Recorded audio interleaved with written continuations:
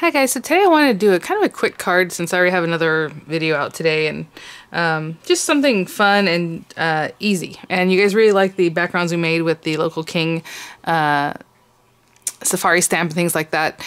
Uh, yesterday and I used the um, Jane Davenport mermaid markers and I'm going to use those again today. But then as I was getting papers and looking for this because this is basically what I'm going to base this whole thing on um, this um, cut and emboss folder, uh, I, I came across these guys because I put everything away in the same place whenever I have my Jane Davenport stuff and Spellbinders things. So well, like, you know? I'll try these too because I haven't tried these. So if I have any links in the uh, description box under the video here, you can expand it under show more.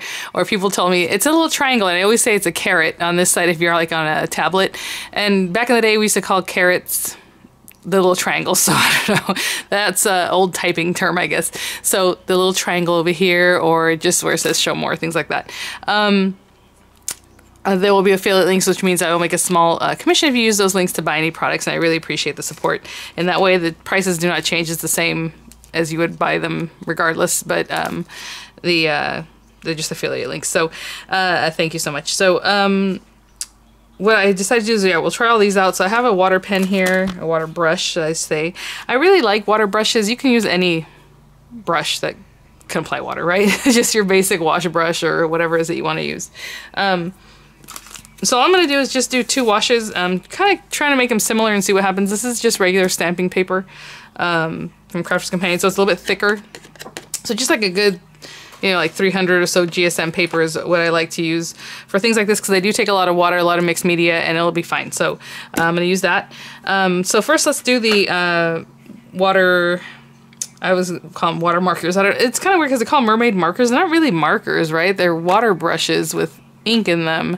Um, and I always have an extra water brush with these. It's kind of how you're going to have to use them because otherwise it's just always ink, always pigment, and there's no way to really get it moving um, unless that's what you want, right? The really deep, rich colors. So, um, really interesting uh, things here. So I think, what do I want to use? Pink, blue, and purple like we always go with. Maybe teal, or should we do the blue? Uh, we'll do blue. And this purple, and this brighter pink. I think. So I haven't swatched any of these. Obviously, uh, the blue I've tried before. So we have our um, blue bottle, starfish, and jellyfish. And I did pick these up when they were on sale. I believe they might still be on sale today. Uh, I guess it depends on when you're watching this on Spellbinders. Again, these are not inexpensive, so definitely get them when they're on sale. Um, and then the aqua pastels, the watercolor crayons, I haven't really checked those out with their pricing before when they're not on sale, but um, I don't know. Again, I should have had a little water here with me. I do not. I'm just going to break up this. I usually like to dip this in water the first time because it has like a binder on it that keeps it really crusty. And give them a squeeze. I can see it's already coming through. And this one too. Just give it a little squeeze, squeeze, squeeze. You can kind of see the liquid come in here, the ink. So it's basically dye ink that's in there. Okay, I can see it's coming through to the tip. And so to start off, we're going to do both of them basically the same way. I don't, well, actually the aqua pastels I might do a little bit differently because I don't think I need to wet the paper as much. But for this, I want the water to move, so I'm going to wet my paper down. And again, if you just want to use a brush and dip it, that's up to you. And to do what do I want to do. Well, I can do something similar to this. So maybe start with the pink into the purple into the blue. Maybe.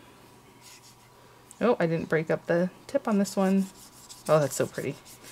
And it moves really nicely, so that's always good. So pink, oopsie. Into the purple, I should have had these going. Oh, I like that purple. It's kind of a plum, like a deeper purple. I thought it'd be brighter, and I was kind of wanting for a deep color, so it came out perfect. Oh, I got some pink on there. And into the blue. And if your paper's already getting sucked up, you can add more water, obviously. Look at that. I think that's okay. Now, I can come back in here with this. I don't know that I want to lighten the color, though. I'm just trying to get it to the edges. There we go. I'm going to wipe it on this towel over here. I really like this purple. That's better. All right, I'm just wiping off whenever I dipped into a color over here on this paper towel. So what I'm going to do is clean up this area and hit this with a heat tool just so it dries a little faster. And all this stuff you can pick up with another paper if you're, you know, the person that likes to just keep using whatever gets all over the place. Um, I'm letting the paper towel kind of suck up the stuff that's dripping down to the sides here. And I am going to hit it with the heat tool just to help me out dry this and I'll be back. Okay, I'm almost there.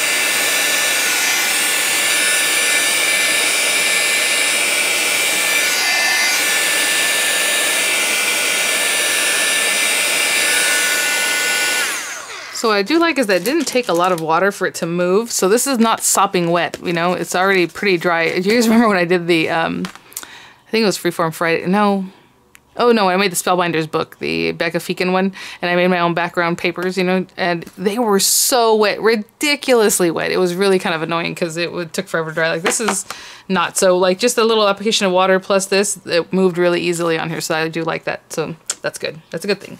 Um, I didn't clean up as much as I thought I would, but there we are.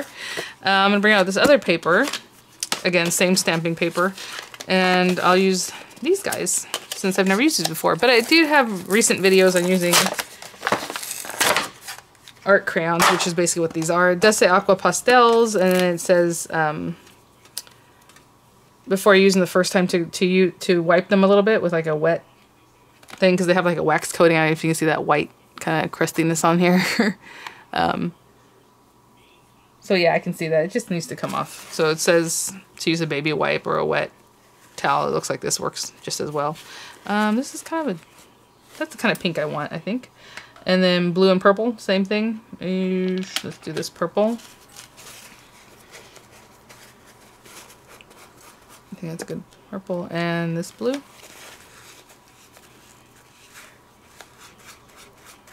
These are very stiff. Okay. So yeah, it says just do that and then apply them like anything else. So we will see what happens. So I'm going to start with the pink one. I'm just going to take a acrylic block just to kind of put it on here. If you put it on here and use your water, it's going to leave a mark like indelible. Not, well, not indelible because you're, you're going to be able to spread it, but it's going to stay. Well, let me show you. Let's say I come in here and I'm like, oh, I'm going to use that. And then I got my water brush. I didn't press really hard either, just so you know. Like it's melting, Hey, these, well, I was gonna say this is a lot better than other ones I've used, but you can still see the, the, the lines, the original lines. And if you like that, if you like that texture, go for it. I mean, that's great. I think for some things you might want some texture like that. But for right now, what I'm gonna do is really, really, really, really rub a lot of this here. And I'm gonna be generous with it because what happens with these things is that we get afraid and we don't use them. It's like, just use it, you know, just use it. So I'm gonna add a lot of water here. At least I'm trying to. And I'm going to apply this. Now this is very, very light wash here. So I'm going to try to maybe... You can always layer it up. I think I'm going to apply some more and just not add so much water this time. You know what I'm saying? Just use the amount of water that's still here. And you see I did not put water on my paper to begin with because I had a feeling when you do it this way, it's just a little bit different than applying straight ink, right? This is very pigmented ink that we put on there. Okay, let's go from there to our purple. And I'm trying to push really hard. okay, a little water. It is much softer, much more muted, very pretty. Again, you can uh, layer it up you can wait for this to dry and then do it again. I'm going to wipe that off a little bit and then into the blue.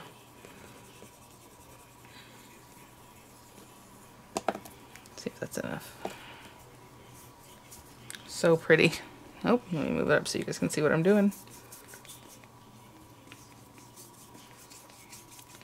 This one's much, much more muted.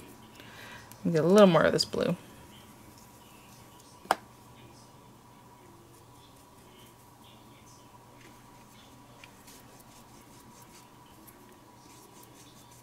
Okay, and I think that's probably as good as that's going to get. Let me Funny, this one feels a lot wetter than the last paper. All right, I'm gonna dry that up. And so yeah, this is the first time I've used these. I'm, like I said, you can build it up. I'm not gonna spend the time to keep, you know, letting this dry and then do it again. Um, but look at the difference here already. Woo, all right. Let me hit this again with the heat tool and we'll get okay. to cutting. So in my mind, that we are ready to roll. I think what I was gonna do is, oops, is, um, I don't even remember what I was gonna say. All right, so all we're gonna do is back this up, this little area, maybe with something shiny, right, behind it, um, and then put it on our card, and a little distressing. So uh, I was looking at this. This is much bigger. I cut my piece of paper to four by five and a quarter, so that it mats over your standard A2 size card of four and a quarter by five and a half really well. And when I cut it down, I was like, oh, you know, this is really big compared to this. But the cutting area and the embossing area is just in here. If you can see, there's not going to do anything up here or down here. So it's pretty much set up for matting a card just like that. Now, if you want to do five and a half by four and a quarter, it will just leave an edge right around the edge that doesn't have anything going for it. So um, just know that. So I think that's pretty cool. There we kind of have it sized because I was like, ooh, I'm gonna have to chop part of this off or trying to judge where I want to put this. But here we go. Okay. So they do not have names on either side of this thing, but where the cutting edge is, that's the side that you want your the paper that you want facing up to be facing, right? Because this is going to push up your embossing and then it's going to cut into your paper. So um, just know that. That looks pretty good. I'm trying to see if it's straight. And it's okay. And I'm just going to run through my Anna Griffin here. I know people are going to ask if they can put it through their marquee. Okay, so Diamond Press has said not to put 3D folders through your marquee. Uh, you can put any embossing folder through. But what they told me is not the 3D ones. So I'm saying no, but I know you guys have told me you put your 3D folders through there. So I suppose do whatever you like, but I'd rather not risk it. So pretty. We're going to distress this a little bit in just a minute, but look at all that detail. So nice. Okay, so there's that one. And then hopefully everything, the little foam, do not ever pick out these little foams. It's there to help you deject the paper. Deject? Eject? Something? I don't know. All right, let's get this one going. Oh, oh you know what? I kind of want them to be the same so you can have the difference. So I will put the pink on top, but um, you can do this however you like, obviously.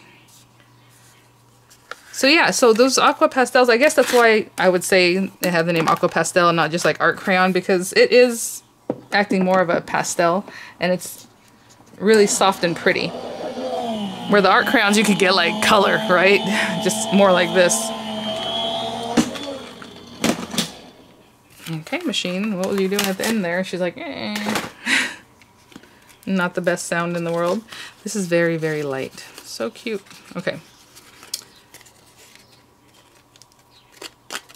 So uh, Spellbinders has tons of these kind of cut and embossed folders that just you know, you have your um, large area and just a little something cut out. And of course you can do this with any cut and emboss folder, you know, Anna Griffin, Crafters Companion, any company. And I know you guys always ask, um, I get this question a lot, probably daily, if you can interchange dies depending on, you know, the companies. Yes, any thin metal die will go through any thin metal die machine. So uh, don't be afraid of that. I'm just talking about thicknesses as far as like embossing folders. Sometimes they're different and you want to be careful with those um, with a smaller crank machine. But anyway, uh, so I'm just going to take this nail file. I buy these from like Nailite for like two or three bucks. You can find them everywhere. Um, super cheap. Even the ones that they have like at the Dollar Tree will work. Whatever little file. And I'm just going to buff this up a little bit just so we can get some texture going. And I'm not pushing down super hard, but... So I'm just going to run this over. Look how cute it looks with the white dots right there. So I'll go over this however long, eh, maybe a little more. And this one, I don't know if it's going to make a difference. I hope it does. It's just it's so light and pastel. Yeah. I love the dots. The dots are so cute, that area. Okay, so I'll be right back. I'm just going to do a little more uh, detail work, kind of look at it closer. And um, we'll layer it up and make a card. If I knew where this was going and who I was giving it to, I would totally do this differently because I would use the bomb gold paper that you can get from Spellbinders, that really pretty gold uh, mirror cardstock and I bought tons of it now and I don't have one to show you, but it always comes in their kits and I think it'd be really pretty. But right now I just grabbed this Enchanted Christmas uh, Crafter's Companion set and I know it has all these pretty colors of kind of like foil card here. And I was thinking about matting the whole thing, but then I thought, no, so I'm gonna do is just have it peekaboo from the from behind. So it always comes with these little pieces in the front I always use them up. Do not waste those. Um, so I think for this one, I'm going to put some purple back here. And this does not have to be perfect. So what I'm just going to do is just cut some pieces that I think will work because I'm not going to mat the whole card. I'm just going to put it behind, you know? So I just need another piece that's about similar to that.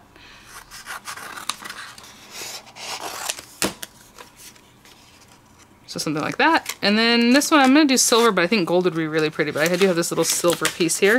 Or any of these pieces would be really nice.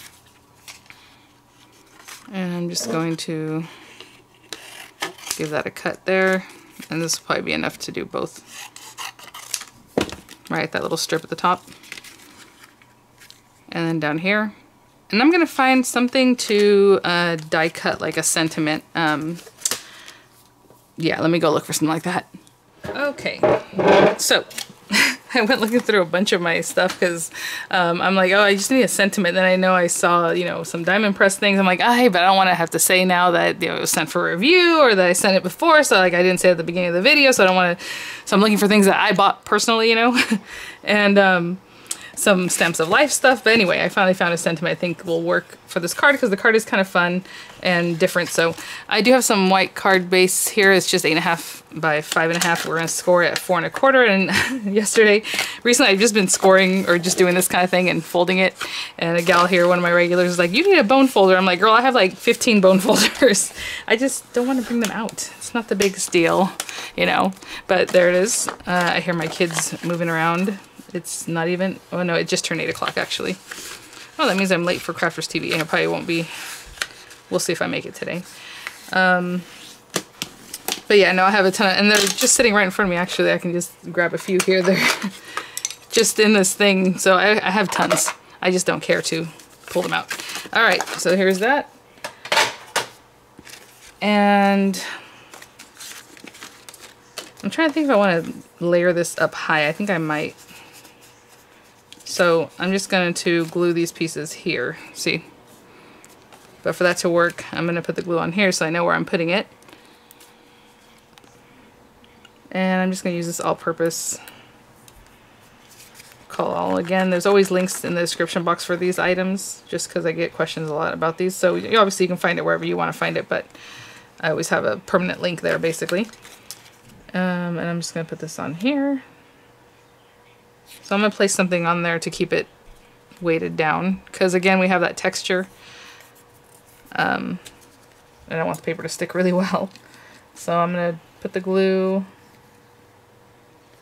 generous amount.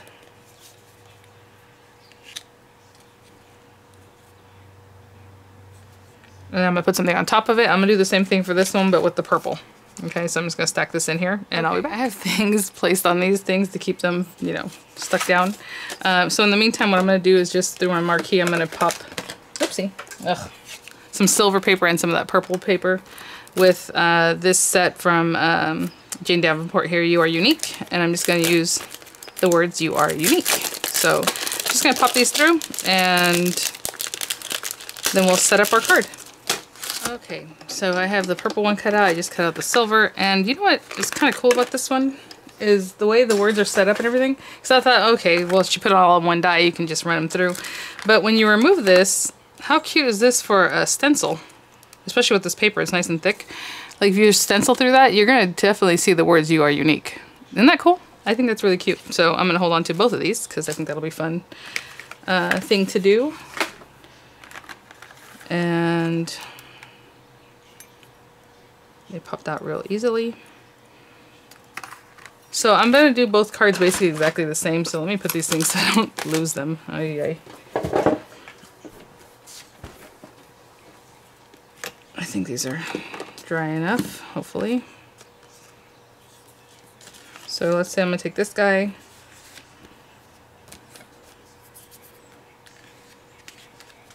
Put that there. And words, you are unique. Now, I'm going to use the darker purple one on this one. If you want contrast, you don't have to have the purple right behind like I had purple and purple. We can do the silver. But I just feel like it's kind of so muted in the background that it's nice to have that pop under and on top. And I'm going to glue these down. Again, just putting glue on the back of my hand. But you can use whatever system you like to do this with. Um, I kind of flatten it out a little bit, otherwise the glue will pop up to the other side of your hand, uh, on the top of his. So I kind of get it on there kind of generously because, again, there's a lot of texture to this card. trying to see where I'm going to put this. You are unique. So that's all I'm going to do. Um, and I'll be right back. So I'm going to tap, tap, tap, stick it down, and I'll do the same thing for the other one. Tacky glue holds the tack so fast. I was like, oh, maybe I need to move the R over a little bit. And it was like stuck down. I'm like, nope. so that's done. And I always like to use like kind of like a towel to help me hold things down so I don't smash it with my fingers so much. So this kind of gives me the pressure, but without the smashing. that's that's how you call it. Okay. And that's it. So um, again, you know, distress the edges, whatever it is you like. I think it's uh, good enough here. We have uh, lots of dimensionals here. Of course, I like to use my 3D glue gel. For this one, I do kind of want it to be a stiff thing though. Maybe I should have used like a roller. But I'm still going to go with my 3D glue gel just because it has a lot of texture. But um, definitely, you know, put some 3D foam or whatever it is that you want to use and quite a bit of it. Um, because right here it kind of bends in. There we go. There we go. So I'm just going to put a ton of this stuff